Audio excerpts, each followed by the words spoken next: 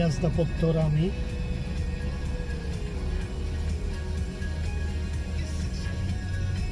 Teraz skręć w lewo w ulicę, ulicę Stanisława Małachowskiego.